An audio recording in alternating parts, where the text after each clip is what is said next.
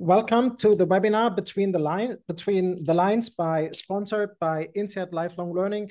It's with great pleasure to welcome Felix Oberholzer-Gee. Thank you so much, Felix, for, for joining. Um, Felix is the Andreas Andresen Professor um, at Harvard Business School. He's part of the strategy unit. Um, look, I had I have a few friends at Harvard Business Schools. I just spent the last week there at the Mike um, at the Mike Tushman Memorial Conference, and I actually used the opportunity to do a little bit of background research. And the first sentence you always hear, in particular from from Harvard Business School faculty members is, "Oh, Felix is simply the best." So that is oh, typically oh, wow. this is typically the way how it how it starts off. I can provide you the names afterwards, Felix. Um, Felix is um, is highly highly accomplished in research as well as in teaching. He has the rare kind of accomplishment, but not so rare on this podcast, that he's highly highly appreciated by researchers he has published in the very best econ journals like the American Economic Review, the Journal of Political Economy, but he's also highly read by practitioners. His Harvard Business Review articles are widely read. His book has been a bestseller. Um, my personal kind of favorite of what Felix has done is I'm an addict of Felix um, TED podcast after hours. I've listened to every single episode, to many of them multiple times. I think it's absolutely excellent. Um, it's very much current, but if you haven't listened to it, I highly, highly recommend you actually download kind of old episodes and what they do about the restaurant kind of industry and stuff. It's absolutely fantastic. It's also incredibly joyful. Um, as you listen to it, you also learn a lot about Felix, how Felix is much more comfortable to promote other people's books than his own books. You actually learn about his kind of desire or kind of joy in cooking as well as in eating, about his kind of travel adventures. So it's wonderful, actually. Um, you can learn more about Felix, and I highly recommend that you should learn a little bit more about Felix. Um, let me talk about let me talk about the book itself. Um, the book is simply better, simpler strategy. Um, the book is um, Felix. I, I, will ask you about this in a minute, but it basically kind of suggests a different way of thinking about strategy. A diagnosis is an important problem by saying, like, look, Many firms claim that they have a strategy, but in many ways, they might actually not have a strategy. They may have something what they call a strategy, but it might not be, it might almost be overcomplicated, sometimes too simple. Um, the book is a joyful read. I have this personal kind of metric, how I kind of how I kind of judge management books. And it's very often how many of the anecdotes do I actually already know? To what degree is there talk about the airplanes that don't come back by Wald? To what degree is 3M featured? And in Felix, in the, the case of Better, Simpler Strategy, it has been a huge joy. There was, I don't think there was a single anecdote I knew before. They're true, it's the book is truly global. Um, you read a lot about American, European, Asian examples. Felix is also responsible for the China program at Harvard Business School. So it's absolutely fantastic. You learn about different parts of the world. Um, Felix, thank you so much for joining us. Thank you so much for the book. thank you for having me, Henning. I, I, and thank you for the very nice introduction. I feel I'm in a little trouble already, uh, but uh, we'll see. We'll see where this goes. Wonderful, Felix. What motivated the book?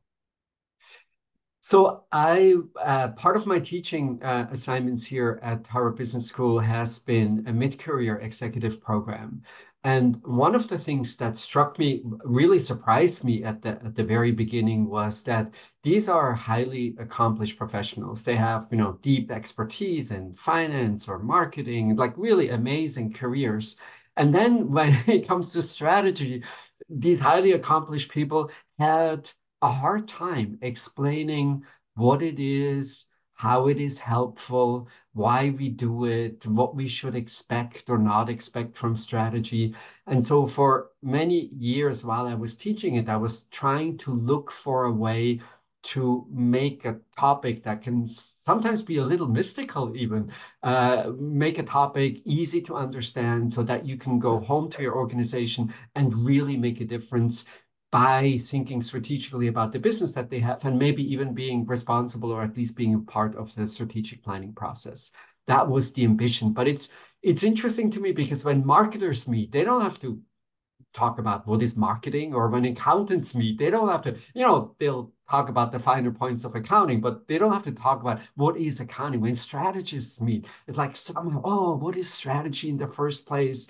How is it helpful? And so on and so on. We have all of these questions. And in part, I hope the book is an answer to at least some of these questions.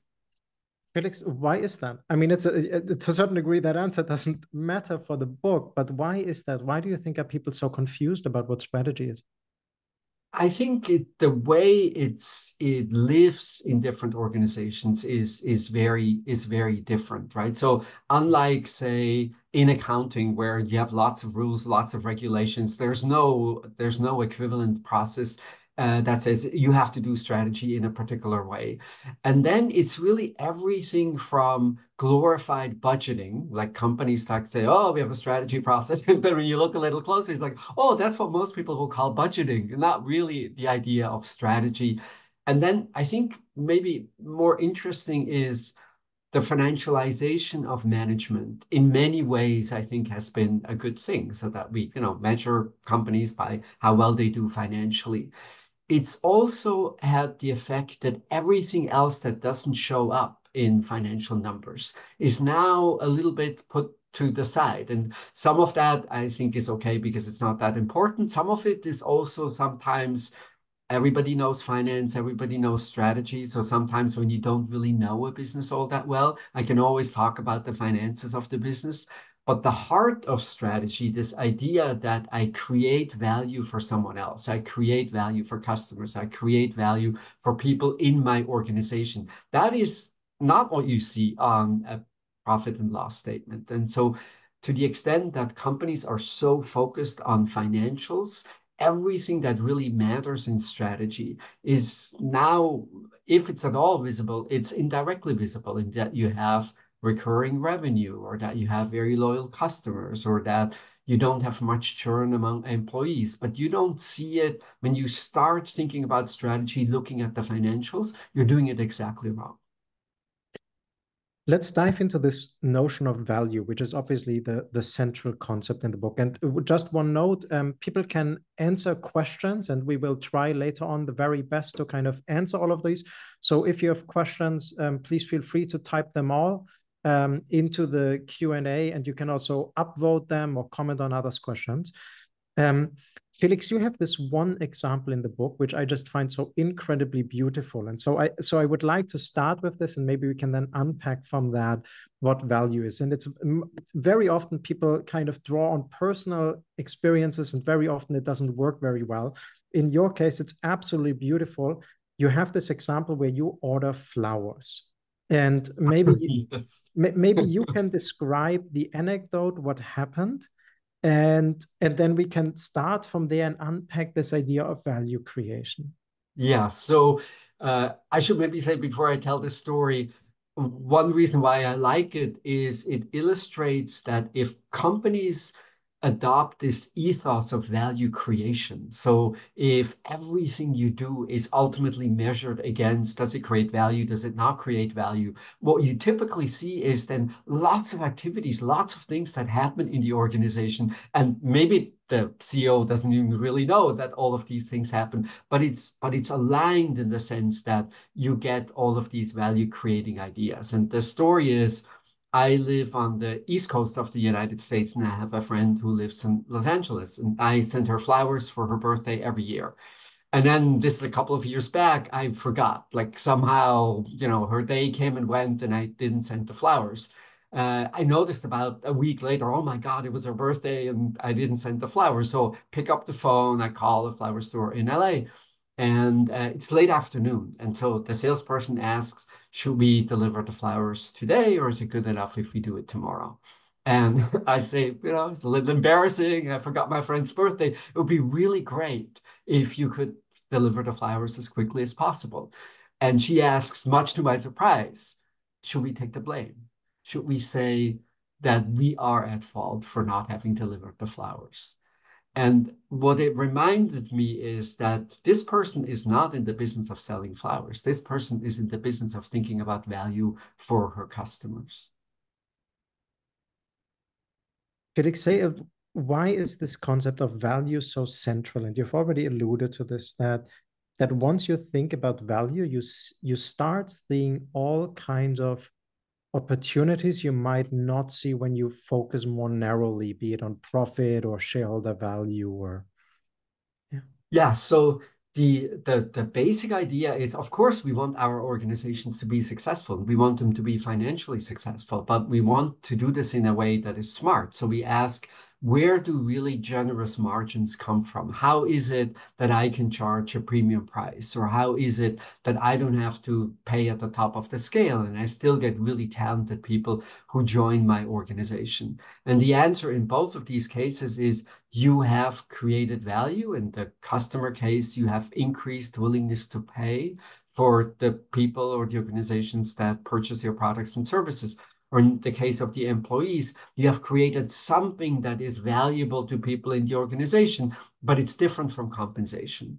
And when I started this research by, by looking at what is special about these companies that have enduring success. As you as you know, Henning, it's very it's very popular now to say, oh, strategic planning is dead and everything changes so quickly. And, you know, you have to move from week to week. There's no long-term, there's no notion of long-term success. And then you look at the data and that is definitely not true. Uh, I mean, it's not true for many well-known examples like Microsoft, but it's also not true for many examples, many companies that I've looked at that have quite mundane businesses. So here in the US, there's this business called Auto, AutoZone. So it's say if your brake light um, uh, no longer works, you go to AutoZone and you pick up a brake light. That's, you would think, oh my God, that's like the most boring business. How on earth? This is incredibly profitable. And so it's both these really exciting companies that we talk about all the time, and it's also companies that we that you and I might think they're they're rather mundane, not that not that interesting.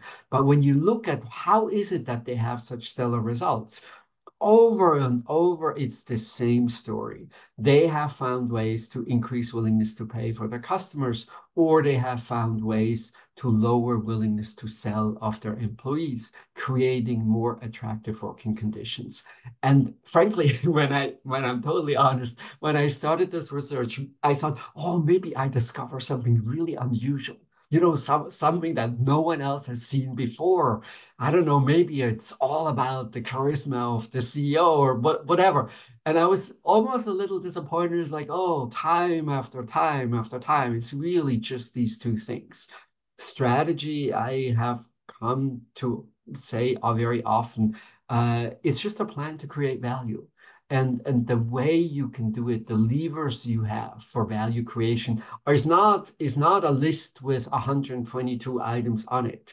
Uh, that would be completely unhelpful and useless because in everybody's life we have too many lists with too many items on them in the first place it's just a few levers to drive willingness to pay and it's a few levers to drive willingness to sell and that's essentially it you see one one aspect i really like about the book in that sense is that that you make very clear that there is no such a list, that people need to be very thoughtful about when which kind of strategy works, right? You see, like I, I found this most salient in your discussion of network effects, where where you're kind of talking about, look, Apple had to sell the apps basically at a low price, but then for Hewlett Packard, it actually made sense to pay the cartridge to sell the cartridges at a high price. Um, let's go a little bit to, to make sure that the people who haven't read the book kind of can follow. There are these two central concepts the willingness to pay and the willingness to sell in this kind of idea of value creation. Can you say a little bit about both of these concepts and how they feature in the process of value creation? Yeah. So uh, it's essentially a way to measure how much value you create for a particular group of customers or for a particular group of employees. And I think the easiest way to see it is think about a company that you you buy their products and they start raising the price and they raise the price and you buy and they raise the price and you buy. And at some point in time, you look at the price and you go, oh my God, now too much that is your willingness to pay. It's the maximum that you would ever pay for a product or a service. And then this exact same idea in the employee relationship. So say I look at your compensation right now and I start cutting your compensation. I pay you a little less, I pay you a little less, I pay you a little less. And at some point in time, you say, oh, now not enough money. I'm no longer interested in working at this place. That is the person's willingness to sell. And of course, if the work is amazing, intrinsically interesting, fascinating, the kind of thing that you always wanted to do. Your willingness to sell will be fairly low. Uh, if the work is risky, maybe dangerous, maybe it's not really, you don't really have your heart in it, then your willingness to sell will be relatively higher. What's interesting about these two things is that I don't think I can tell anyone anything that they don't already know about willingness to pay it's so intuitive to us. Like we think about it all the time. Customers interest. Like I don't really meet companies that are clueless about customers' willingness to pay. Customer centricity is everywhere.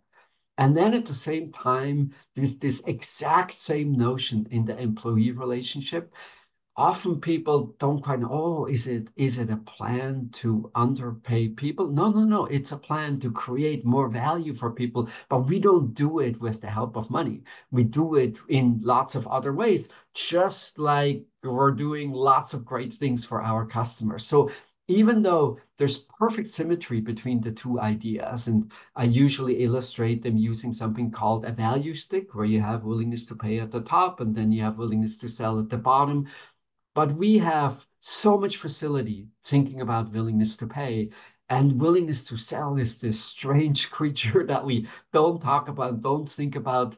But in many ways, in particular, given where the economy is right now, and then thinking about low fertility rates and competition for talent, I am completely convinced that the source of competitive advantage that will matter most in the future is willingness to sell and not willingness to pay is you have this very interesting observation. I'd never thought about it, but I was really fascinated by it.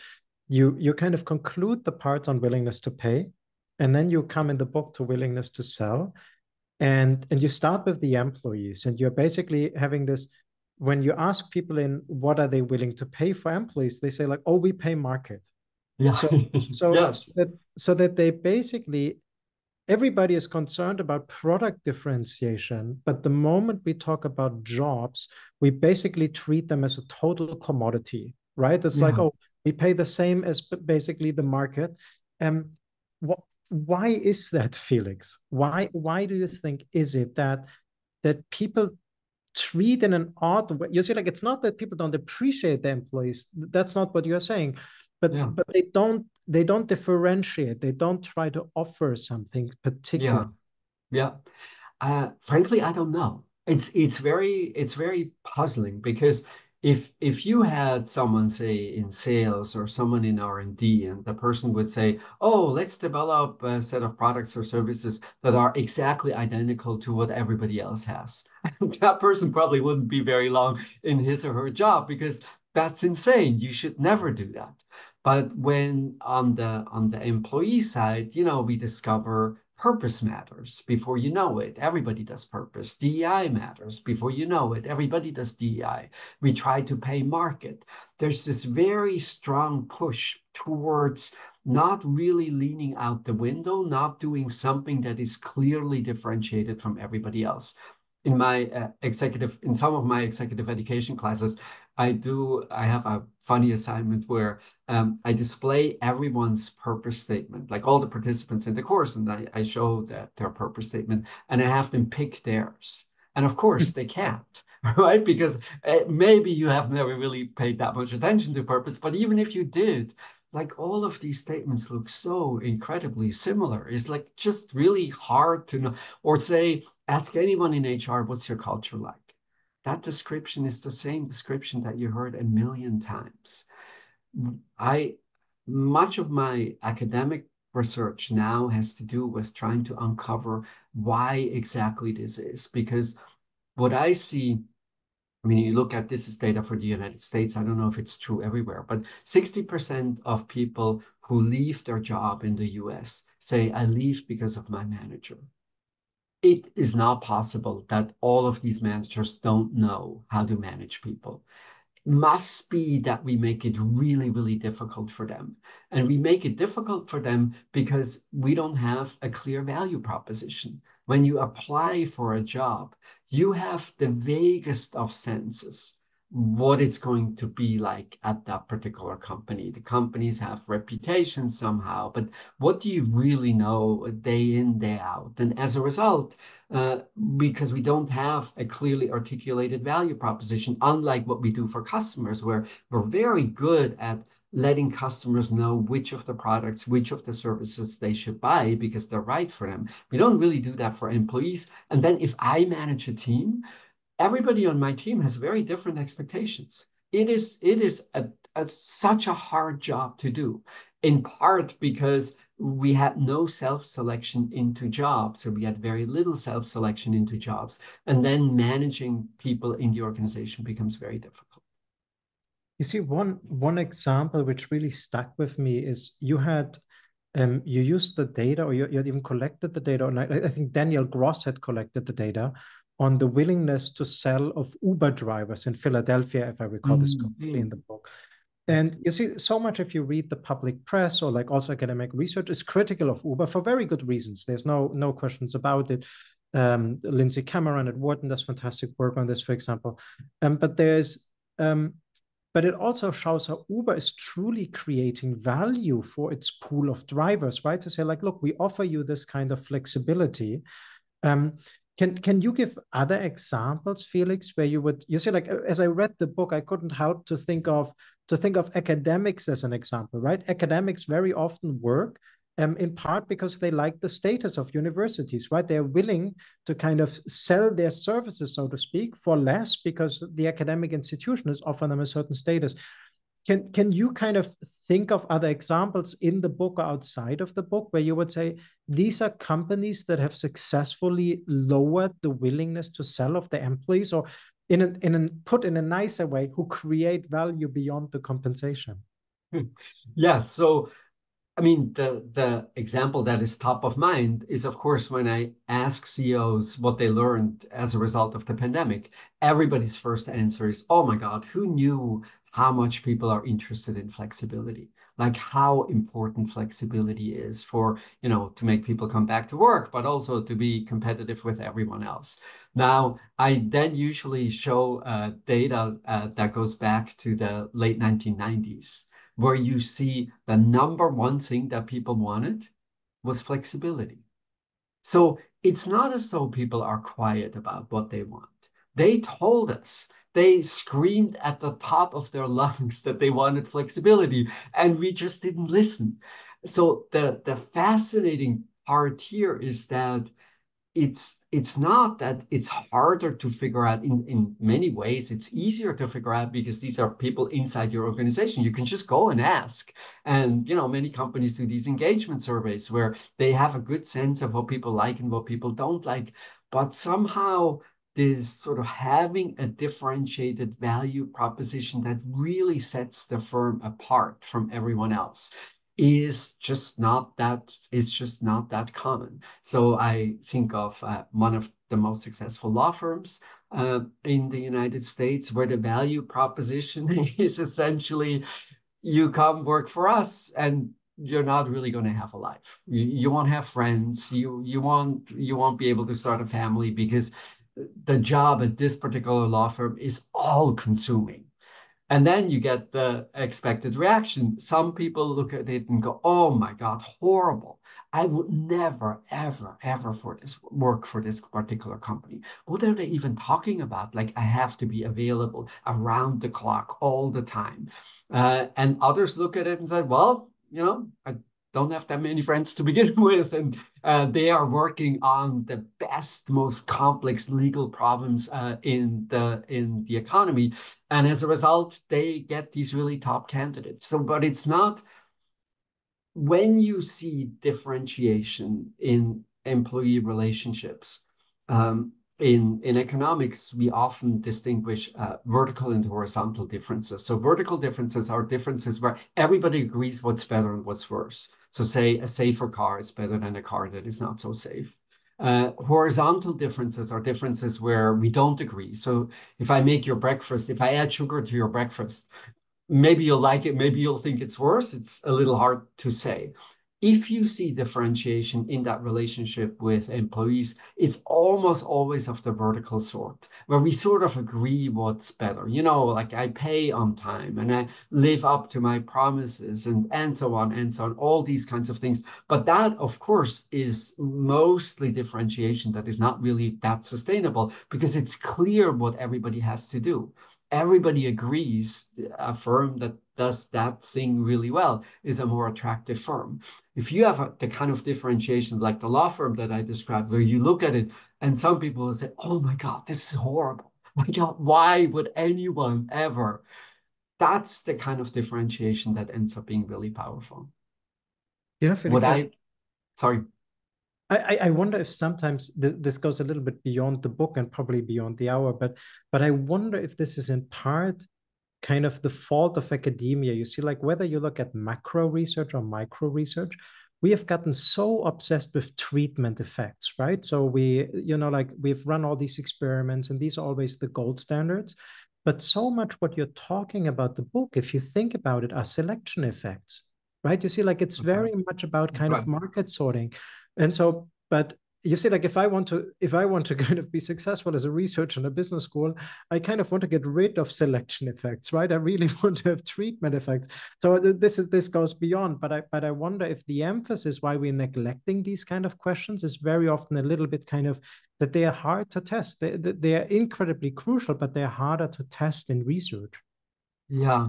I think that's one reason and then maybe a practical reason is also you see it maybe most pronounced in when when people have startups when they're early in the in the life of companies where of course you to attract financing to attract good talent uh, you tend to exaggerate how big the idea is that you have. You tend to sort of oh my company can serve everyone a little bit and that thinking also doesn't really lend itself to selection effects. I think then you see the really good companies. So think think about what's happened, say, in the hotel landscape, where Marriott now has, I don't even know, I stopped counting all the brands that they have. But this is all about making sure that customers don't end up in the wrong hotel right? So that I, as someone who doesn't pay all that much money, like I'm, I, I, I don't want to end up in the wrong hotel where then things are too expensive and I don't really appreciate all the effort and cost that goes into uh, making the experience a luxury experience. We, we we do such good sorting for customers, and and frankly, why it is that in the talent space, we then don't do much sorting. And as a result, all the emphasis goes on compensation. So I, when I speak with HR professionals, like one of the things I always tell them is if in conversations with prospective employees or in conversations with people who are at the organization, if compensation is really top of mind, what that tells you to a first approximation is that your value proposition is not so differentiated from the value proposition that other companies have. And as a result, it's exactly the same as on the customer side. If I have seven companies with the same products and same services, how do I choose? I choose based on price. If I have seven companies that offer very similar jobs, no real differentiation, how do I choose? Compensation is top of mind. And so we forego selection effects and we hurt ultimately the profitability of the firm because we choose to compete in compensation.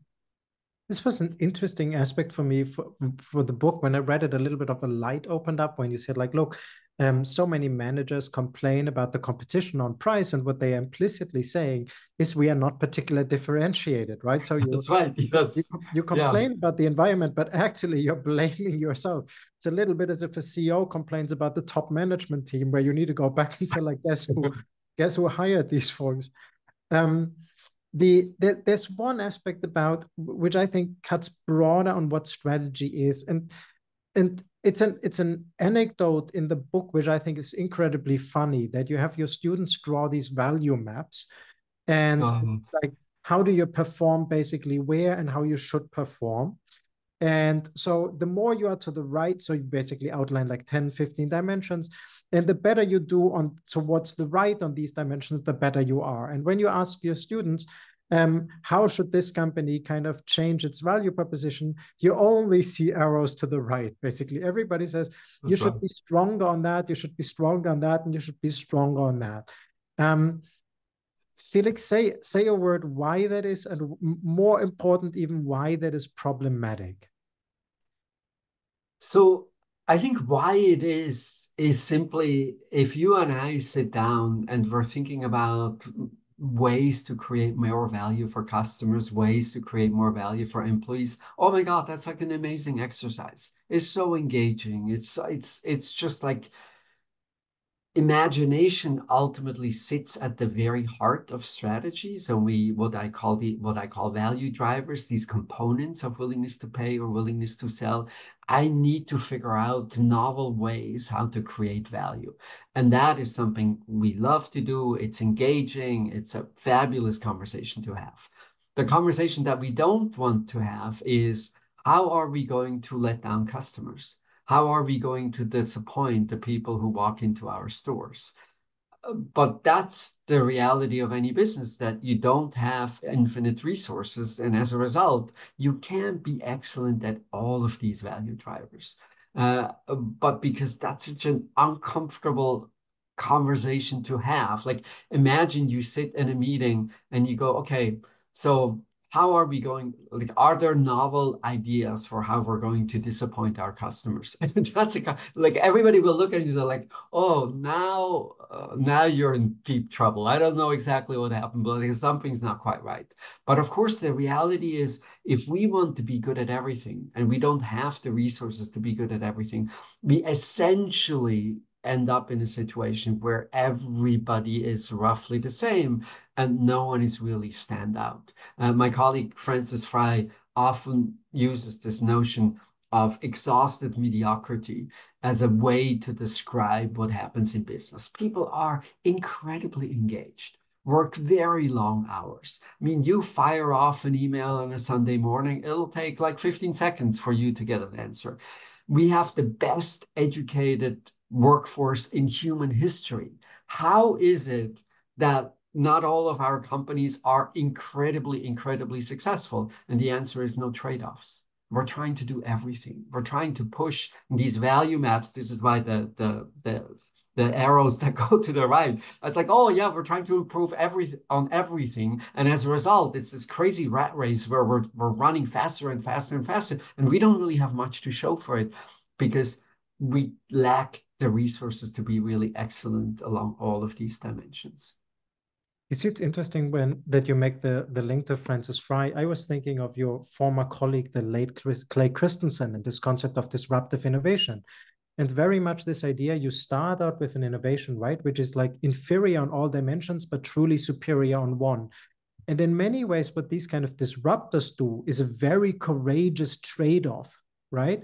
Um, but the other companies are almost laughing them off, right? There's the famous example of Steve Ballmer laughing at the iPhone.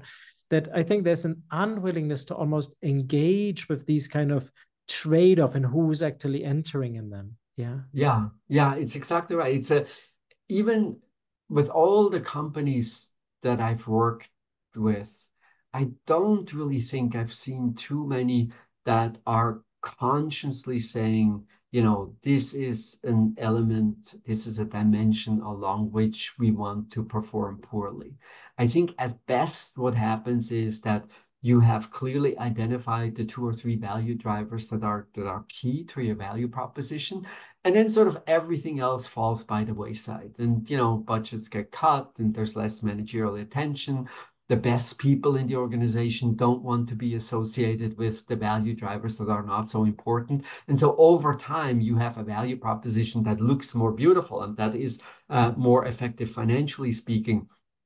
But it's just incredibly hard to have this conversation about what not to do uh, where not to excel, where to be mediocre, the kinds of ways you're going to let down customers or the kinds of ways in which you're going to disappoint employees. That is just like the that's the reality, of course, because we don't have infinite resources. Uh, but it's a it's a very it's a very difficult conversation to have. It's it's interesting when I so I teach entrepreneurship classes and when the when students pitch at the end, they very often compare themselves to the competition, and they're basically always superior on all dimensions. They are just pointing out we are, we yes, are better yeah. than everyone. So so basically like, like this. And what's also interesting is how how skeptical investors. So I have actual investors in the class how investors are often very skeptical of this and they say like look this mostly reveals a lack of understanding of the market these people are not out there stupid basically yes yeah, yeah. and and yet at the same time the financing relationship of course often forces people to you know make the idea bigger than it really yeah. is mm-hmm. right so it's it's as a result of how we often uh, fund startups it's it's actually very hard to start a mid-sized company. Like every but because you know the track record of VCs in recognizing really great idea is not all that fabulous. And as a result, the industry has become to really rely on these outsized hits that can make up for all the investments that ultimately don't pan out. And I have sometimes students who, you know, they have maybe a 200 million idea like mm-hmm. it is incredibly difficult to attract financing for a $200 million business. And it's it's it's something that is not not quite right because then it pushes people to do exactly what you said. Like, oh, we're also the best product for this customer segment and for this part of the talent uh, for the talent pool. When in fact, if you were, if you started out more modest, I think you would have a better chance of building a sustainable business. Yeah, very much. Ben, Harvard Business Review just published an article, I believe, "The Messy Middle" by Ben and Ed Halen, on this very much this idea that there's like a struggle to kind of if you have this two hundred million dollar idea, that classical kind of venture capitalists don't go for you. Um, we've we've in a certain way we have started with the book in reverse a little bit, right? We've talked quite a bit about the willingness to sell.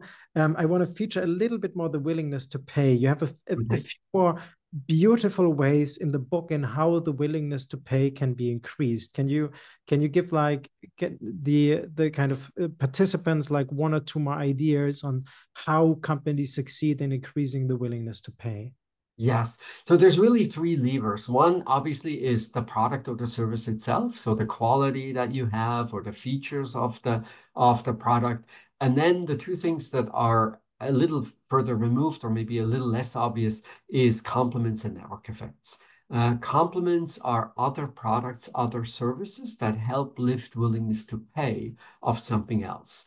And often we sort of, we almost forget how important complements are because we get so used to them. So for instance, if I asked you, what's your willingness to pay for a car? I have no idea, like 50,000 euros, something like that. Now think about a car without complements No roads, no gas stations, no repair shops, no mm-hmm. GPS. I mean, cars would just be essentially useless if we didn't have all of these complements. And the trick to find complements is to not if i asked you like how would you increase the willingness to pay of anything really? You're thinking about the product or the service right? How to make the product or the service better but the but the complement lives at some distance. So one of my uh, favorite european examples is you know i want to eat in a great restaurant somewhere in paris. Who do i ask? I ask the people who make automobile tires. How strange is that? How on earth did michelin start to have a guide and it turns out, well, early automobile history in France, all the cars are in Paris. Everybody's just making local trips. That is terrible if you're a tire manufacturer. And so they come up with the guide to encourage long trips, hoping that people will go to the restaurants in the south and hotels and elsewhere in France, using up a whole lot of tires. So, so the idea is that the complement is not so easy to see because it's not really your business, it's something else. I tell the story of a movie theater in the book uh, that offers babysitting services. They only discovered babysitting services as a really powerful complement after the CEO of the movie theater had kids himself. And all of a sudden you figure out, oh my God, I'm the CEO of a movie theater and I can't really go to the movies because arranging babysitting services is so is so hard. So the the trick in thinking about complements is that you're you're you're not thinking too closely about about your business. Think about really like what else needs to be in place for the customer so that the customer can then optimally use the products or services that you might produce. And then network effects, obviously, with social media and everything we've talked about a lot, those are just products whose willingness to pay for these products increases with adoption. So that's obviously true in social media. It's true in electric vehicles from charging stations. It's true in gaming when we when we look at the very big platforms that have come to dominate at least the digital part of the economy, all of them basically build their success on this notion of the more adoption I have, the greater the greater willingness to pay. There, it's more a question of seeing.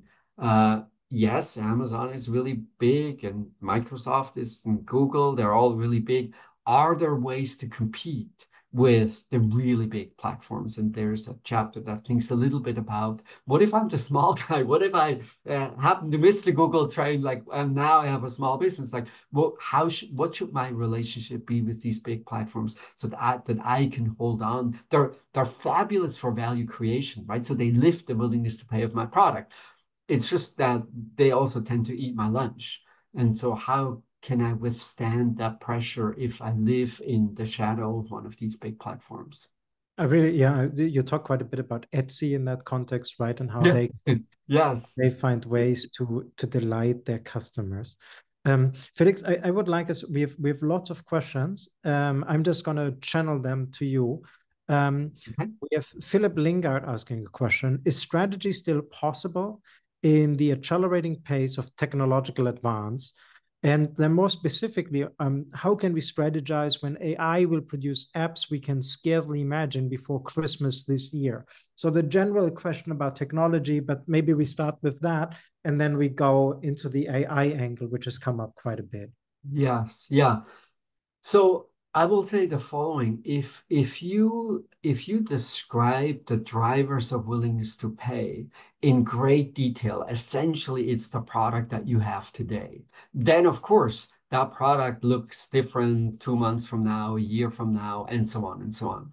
But if you if you describe value creation really in terms of what is it that the customer really wants, so say take me as a bank customer. So I want to know my investments are secure, that no one has access to my funds, and I probably want the ease, the convenience with which I can do my banking transactions. Those are probably the two most important things for me. How you do convenience, of course, that will change dramatically.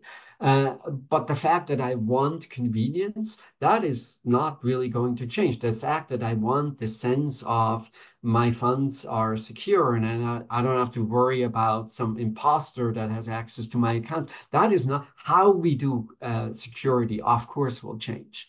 So this this notion that that strategy is not really possible in a technologically fast changing environment, I think is completely misguided. And it's misguided because you're thinking about, oh, uh, how exactly are we going to do the thing that will create value for the customer? It sometimes it comes back as this notion, oh, you know, you shouldn't you shouldn't really pay attention to customers. Customers don't really know what they want. And it's related to Ford and Steve Jobs, and, and it's complete nonsense. I mean, customers don't know how to create a safe banking account. That, of course, is right. Uh, that is your job to figure out with all the technological possibilities that we have today. How do I how do I secure these accounts? Uh, but the security that they they know what they want, and it's your job to figure out how to do this better.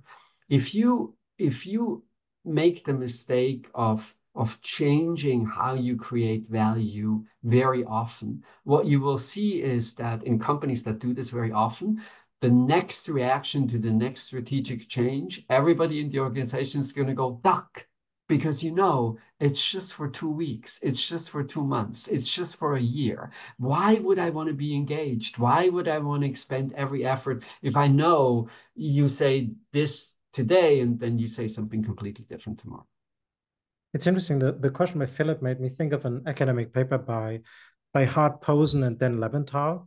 And they basically point out if if the environment becomes very turbulent, there your intuition is that you want to explore a lot, but what they actually show is actually it suddenly becomes very good to just basically exploit enormously. You focus on the value proposition because the learning you get from kind of additional exploration is basically like immediately meaningless. So you basically try to become very much better at what you do. So yeah. Um, you see, in that sense, you become more focused on the value proposition you create, right? And then you think about how you can leverage these technologies you have in using the work by Anderson and Tushman, right? Like you make it hopefully like value enhancing in a certain way. Um, yeah.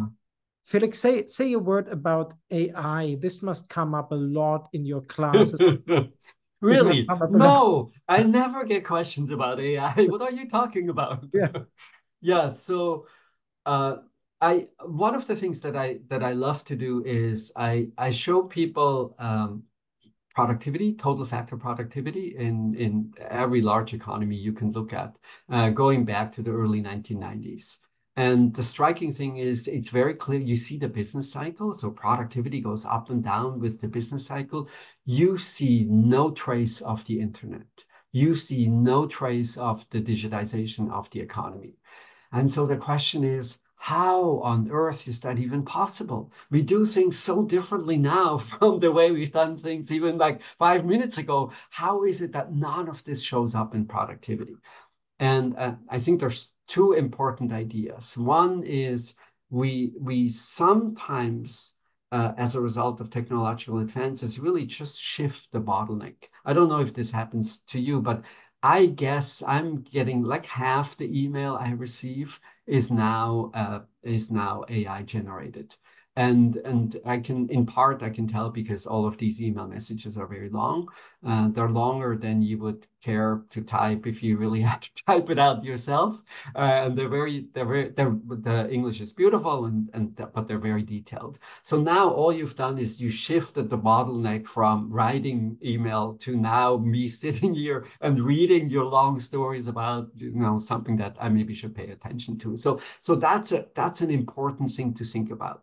The other thing to think about is why, how can it be that productivity doesn't move? Well, it could be that we're producing much more output, but the value of that output has decreased dramatically. Prices have fallen.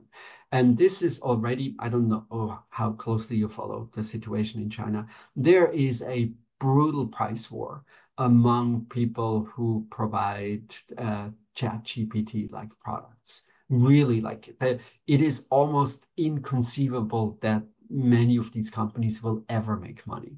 And so the question is like, okay, so yes, technology will change things in particular ways, but can we do we really believe there's a there's a source of differentiation that is somehow allows people to capture a fraction of the value, or is it just that you know, it's really great for consumers because things are easier and things are more convenient. But actually, from a company perspective, all of that excitement around AI and Gen AI and everything that's associated with it, do we really do we really believe that there's a handful of companies that can do it much better than anyone else? And if we do so, so if you make, say, the argument, oh, but you need these huge models that are little, like hundreds of millions of dollars to train, then, of course, the question is, yes, I understand fixed cost can often be a very significant barrier to entry, but what does that imply for the size of the business? If if the barrier to entry and profitability reflects significant fixed cost, isn't that like, and you might remember uh, those predictions, we're all going to have 3D printers in our kitchen. Remember that? And then that never happened. Why? Oh, it's not that 3D printing doesn't work. It's just too expensive for most applications that we've been able to come up with. And so then the question is, oh, if this is a fixed cost game, so that we get a few companies and the companies can be really profitable, then of course the big question is, how big is that business really? There's an interesting line of work now on AI, because in, in a certain way of thinking about it is right, it lowers the cost of cognition. And people effectively kind of compared now the calories it takes to feed the human brains compared to like the kilowatts. it kind of takes to train and update an AI model. And so it turns out these AI models are from that angle incredibly inefficient, right? Yeah. So yeah, yeah. Um, so it lowers in some aspects the cost of cognition, but not that dramatic or not as, as, as crucial as one might as one might think. Um, Lisa Lotte has a question completely different, and I, I, I read the question, but I would love to almost broaden it a little bit further. Um, she asked, "How do you consider and balance the value creation to broader stakeholders, as sustainability implies, including climate change, for the planet?" Let's start with that, and maybe then we can get a bit broader. Yeah. So there's the the last chapter in the book is exactly is exactly Lisa's question, and uh, I think it's incredibly important.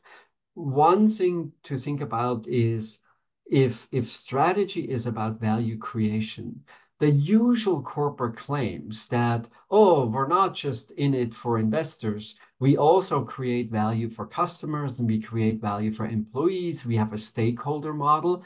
That tells me nothing because even if you're just thinking about profitability, your best course of action is to create value for customers and is to create value for employees. So then I want to see evidence that you are more generous with customers than competition forces you to be to begin with, or that you're more generous with employees than competition for talent forces you to be uh, to to be it. Uh, and at the same time, you want then to think about, okay, so if we have these stakeholder-oriented organizations, I'm more generous with employees, I'm more generous with customers, what is it that the corporate sector can do? And what is it that the government needs to do? And uh, one really important point that I make towards the end of the book is if the prices are wrong, the corporate sector has no chance of getting it right. So most obvious with carbon, the price of carbon is way too low. So even if I, as a company, want to be really generous with my customers, really generous with my employees, I'm still going to be wasteful in ways that don't reflect the incredible cost of climate change. So there's no private sector solution to having the wrong prices because prices ultimately are the signals that tell companies where to invest and the kinds of activities to develop. So the the there there there is a stakeholder world in the sense that we can when we think about dividing up value, why should so say make a practical example. So say I'm a company, my cost of capital is is 10%. And but I my returns are 18%, uh, my return on invested capital. Why is it that the extra 8% should go to the owners of the firm? That's not at all obvious. Maybe maybe we would create the most good if the extra return goes to higher salaries for employees. Maybe the extra return should go to people who want to, I don't know, study or whatever whatever it is that they want to do. So so I'm I'm completely in sync with this sort of stakeholder idea. Let's think flexibly about how value that's created is being allocated. Just thinking about we can never charge customers more than their willingness to pay. We can never pay employees less than their willingness to sell. And we can never pay investors less than their cost of capital, right? So those are the constraints. Those constraints are binding for roughly half the firms. So not that many, I mean, half the firms have some flexibility, half the firms don't. Uh, but then if you have flexibility, yes, by all means, believe in a stakeholder model. Can we can we use that as a way to deal with climate change? No, we cannot, because climate change is an issue of not seeing the true cost of using energy and so on and so on. Um, Pelotonel asks the question Do you see strategy as a top down exercise, or do you have good examples of a bottom up approach? Mm, I would say choosing these value drivers that is, I mean, you could involve lots of people, outside experts, but ultimately that's probably a top leadership conversation and then a determination which of the two or three value drivers are really at the center of the organization. But then the, the millions of ideas, the imagination that goes into thinking, and how do we move these value drivers in a really cost effective way? That can be incredibly collaborative. I think, in fact, when I, I visit many companies because I write I write lots of cases and uh, I always make it a point to talk to the CEO and the CFO at the very end. And then, you know, I'm all fired up because I've seen all of these amazing things. And I go to their office and say, oh my God, it's incredible what you're doing. And most of the time, they have no idea. They don't even really know. Why? Because they, if they did it right, they defined a couple of value drivers that are really central. And then it's everyone's job to think about, oh, can we actually move the firm? Can we move these value drivers in a particular fashion? So it's I know this sounds like a cop out answer, but it's a little bit of both. You you have to be super specific and clear about the value drivers. Otherwise, if you you know, this is the problem of suggestion boxes, right? So if you just have a suggestion box, you get you get suggestions that will pull the firm in a million different directions. And mm-hmm. then you're in the uncomfortable situation that you have to say no all the time. And people will say, well, so why did you put up that suggestion box if you're going to say no all the time? So there is real value in being super specific about what these value drivers are, but then really open and collaborative when it comes to what are the best ideas. The best, it would be so surprising if the top management team had the best ideas how to how to move value drivers. It's it's interesting, uh, Felix. I, I, didn't think of it as a cop out at all. It, it so I've done quite a bit of research on crowdsourcing, and obviously Karim Lakhani, yeah. Tushman have worked on this. I was I was thinking of Hila Lifshitz's dissertation at HBS and how she describes how people have gone gone from like problem owners to solution seekers in a certain way right so you're you're kind of making the call for ideas by setting these values right so you're you're setting up the overarching value um, and and then you have these kind of ideas pop up. Um, Wood has asked my absolute favorite question, and so I wanna I wanna end with that. Um, we have to answer them both, um, but I let you start. Um, he writes here in proper after hour style. Any recommendations? I know, for, for people who don't know, um, the oh. beauty of After Hours podcast is that at the end there's often a recommendation. It can be some turkish recipe. It can be some music. Um, it can be like a, some device some electronic device.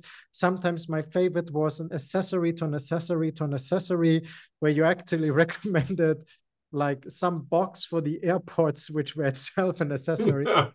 Um, any recommend i know this is not prepared felix but maybe you have some recommendation beyond obviously um, buying the book Better, Simpler Strategy. Anything else, Felix, you would like to share with the audience? this is very funny and, and uh, a little unexpected. So, so as you probably know from the from the podcast, I, I love to cook. And uh, at the same time, I'm sort of wedded to this idea of making things as simple as possible. And uh, I received a, a, cookbook as a gift uh, not so long ago um, it's written by uh, Eric Ripert, the, the the famous chef who is uh, has uh, this Le, Le Bernardin restaurant in New York City, and it is simply called Seafood Simple, and it's a delicious, fabulous set of set of recipes. He he he wrote an earlier book on on vegetables, which I don't know if I loved that that much. That was maybe a little too simple. But this is just absolutely brilliant. Like if you if you love fish and if you love cooking, uh, highly recommended. My recommendation is twofold. Obviously, by the by Felix book, it's absolutely excellent um, better simpler strategy. It's available on all kind of major platforms. I have the audiobook i have the kindle and i have the printed version. Um, so even if you already own a copy maybe buy like a second one. They are all fantastic in their own way. One thing i forgot to mention by the way i love the visuals. I don't know if you did the visuals yourself. The visuals are absolutely beautiful. Um, I, I had help. Yes yeah. So uh, hbs publishing had someone who's really talented Oh, it's, it's absolutely beautiful. Otherwise, of course, I recommend um, the um, the next webinar. I believe it's 11 days from now on June 29th, but I have to look it up. It's with Scott Page, who's the leading researchers for organizations and complexity. Um, wow. He's a professor at Michigan. He's absolutely fantastic. He's written best-selling books um, on diversity, on how to think like a modeler Um, so I think it's going to be an amazing talk. Um, so I'm very much looking forward to this. And then um, I recently have a typical way of ending these talks, and I get complaints if I don't. So I'm going to go with my usual. Um, there are 400,000 thought leaders on LinkedIn, but just one Henning Piezunka. So please follow me on LinkedIn. All right. Um, on that note, Felix, thank you so much for taking the time. Um, this was a blast. And in the names of everyone, please give us more after hours kind of podcasts. We are eager to hear. Thank you so much for the invitation, Henning. It was a Thank real so pleasure much. to be here.